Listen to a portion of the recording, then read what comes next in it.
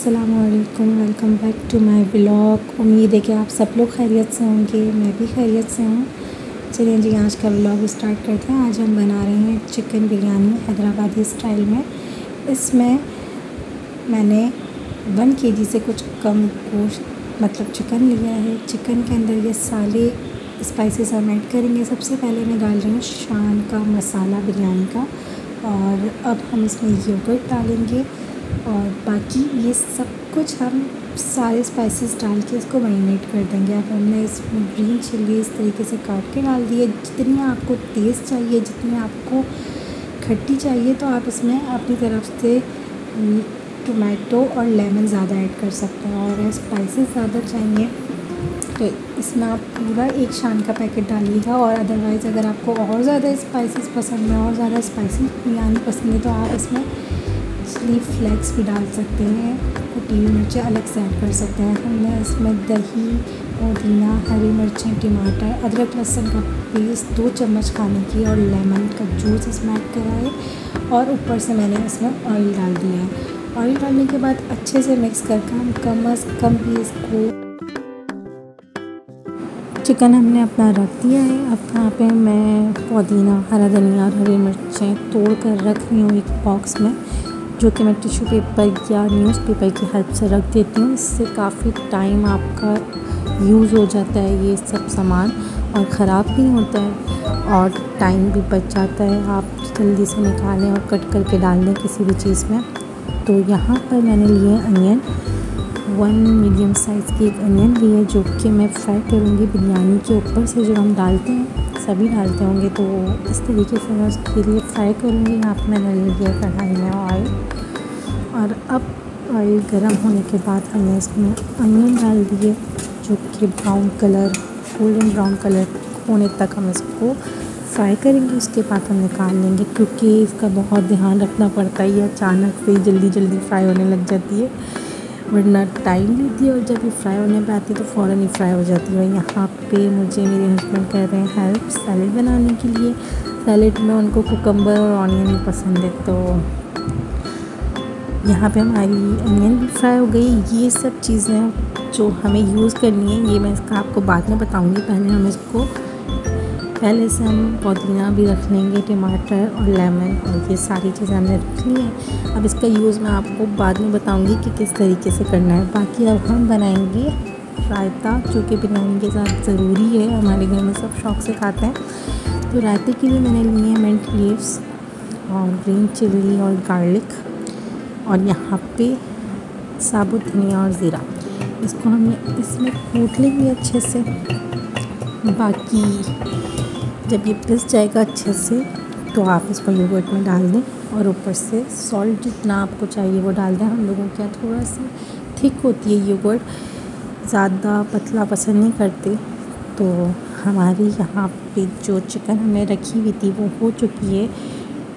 Forty minutes तक तो forty minutes के बाद अब हम लोग बिरयानी बनाएँगे। यहाँ पे जो मैंने चावल हैं, वो कम अज़ कम एक घंटा पहले भिगो दिए थे। अब यहाँ पर हमने पानी भी रख दिया है और ये जो स्पाइसेस हैं, ये गरम मसाले हैं, जो कि अब हम जो ये पानी चावलों में, चावलों के लिए जो बॉयल हो रहा है, उसमें डालेंगे।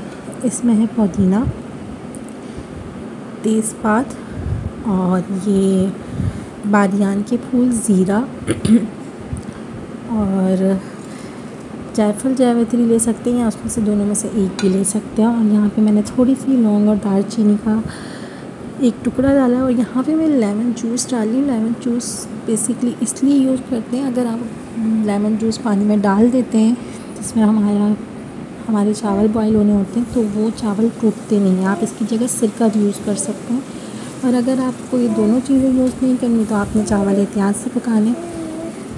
तो वैसे लेमन जूस मैं ऐड कर देती हूँ कि चावल कहीं से ख़राब ना हो। अक्सर लोग सिरका भी यूज़ करते हैं। अब यहाँ पर हम ढक देंगे उस वक्त तक जब तक इसमें बॉईल आ जाए। बॉईल आने के बाद हम इसमें चावल ऐड करेंगे। यहाँ पर जो हमारा चिकन था, फोर्टी मिनट्स जो हमने रखा था, आप जितनी देर रखेंगे उतना अच्छा टेस्ट आएगा चिकन में।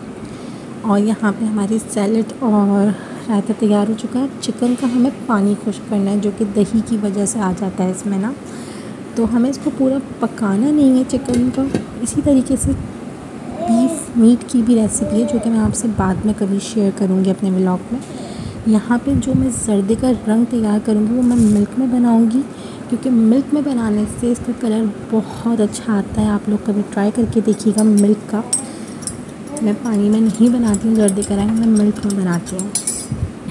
तो यहाँ पे मैंने जर्दे का रंग भी पहले से बना के रख लिया। ये चीज़ें आप पहले से करके रख लें तो आपको बिरयानी की एंड के टाइम पे प्रॉब्लम नहीं होती कि ये करना है वो करना। है तो आपने पहले से साथ साथ ये काम भी कर लिया मैंने अपने सारे पहले से साथ साथ काम कर लिए यहाँ पर मेरा जो पानी है वो भी बॉयल हो चुका है। आप देख रहे हैं इसमें से स्टीम भी निकल रही है। ये वो पॉइंट है जब हमें इसमें राइस ऐड करना है और यहाँ पे हमारी चिकन का जो पानी है वो भी तकरीबन ख़त्म हो चुका है ऑयल ऊपर आ चुका है। ये इसकी एक पहचान है, जब ऑयल ऊपर आ जाएगा इट्स मीन्स पानी ख़त्म हो चुका है। यहाँ पर हमने चूल्हा बंद कर दिया फ्लेम ऑफ़ कर दिया। अब हम जाएँगे बिरयानी की तरफ़, उसमें करेंगे अपने चावल ऐड। और यहाँ पे हमने कर दिए इसमें अपने राइस ऐड कर दिए और राइस हमें उस वक्त तक पकाना है जब इसमें एक कनी ना रह जाए, एक कनी जब आ जाती है मतलब कि कनी रह जाती है। मतलब थोड़ा सा बाकी रहता है चावल पकने में। देखें आप अच्छी तरीके से ये बॉयल हो चुके हैं। बस हम इसको थोड़ी सी देर में स्ट्रेन कर लेंगे, क्योंकि ये हो चुके हैं। और यहाँ पे हम अपने राइस स्ट्रेन कर रहे हैं। और बाकी का प्रोसेस हम आपको दिखाते हैं कि किस तरीके से हम तय लगाएँगे। वैसे तो ये कच्चे वाली गोश्त की बिरयानी में तय नहीं लगती। ये जो सारा गोश्त होता है, एक ही साथ ये जो मतलब चिकन होता है, ये एक साथ नीचे ही डाल दिया जाता है, इसके ऊपर चावल डाले जाते हैं। लेकिन मैं एक इसमें तय लगाती हूँ। बाकी ये आप लोगों के मरीज़ करें वैसे ज़्यादातर ये गोश्त नीचे ही होता है, क्योंकि कच्चा होता है, इसको स्टीम पे पकना होता है बिरयानी के अंदर ही, बिरयानी के साथ ही। तो यहाँ पे मैंने एक ही लगाई है, एक नीचे लगाई है और एक सेकंड यहाँ पर लगाई है। बाकी अब हम इसमें राइस डाल देंगे। ये भी हम सारा अच्छे से इसका सालन जो है, ये सब डाल देंगे। और बाकी अब हमने इसमें अपने राइस ऐड कर दिए राइस ऐड करने के बाद मैंने इसमें सबसे पहले कलर डाला है। क्योंकि अगर आप चीज़ों के ऊपर कलर डालेंगे तो वो एक अच्छा लुक नहीं देता। तो पहले सबसे पहले आप कलर ऐड करा करें, उसके बाद मैंने इसमें पुदीना, टमाटर, लीमू की सब डाल जो कि मैंने पहले से बनाकर हर चीज़ कट कर कर रखी थी और आपको कातर बिरयानी के एंड में बताऊँगी क्या करना है। तो ये मैंने इसलिए कट करा था और हमने इसमें फ्राई अनियन भी डाल दिए और इसी के साथ अब हमारी बिरयानी दम के लिए तैयार है और अब हमारी बिरयानी का दम भी लग चुका है। मतलब स्टीम पर आ चुकी है। अब आप देख रहे होंगे कि कितने अच्छे राइस हैं। इसी के साथ हमारा ब्लॉग होता है. एंड